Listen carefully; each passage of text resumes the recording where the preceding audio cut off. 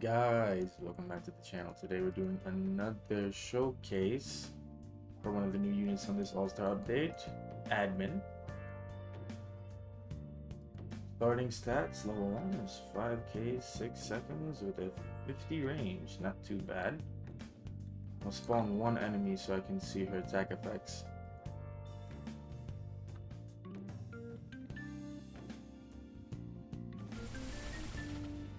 Seems like it's summoning some kind of magnetic pillars. Interesting. Not exactly sure which anime admin is from, so I can't really tell much info about that. Next upgrade 24k. Next upgrade 64k. And next upgrade will boost up to 122k, range 60, and then move called Sword Generation. 10k, not bad. Changes to Cone AoE.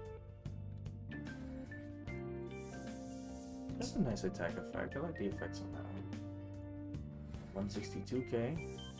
Next is really nice. 24k for 254,000 damage and 90 range. Frozen Puppet.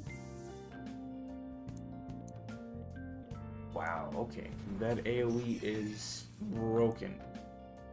Completely 180 AoE. Seems like a freeze unit. Yep, as you can see from the icon above their head, that is definitely a freeze unit. Now gonna do the idle 250% buff. We can see. Alright, 250% buff. 891,000. 6 SPA, 90 range, 180 AoE, freeze unit. Pretty good in my opinion. For only what?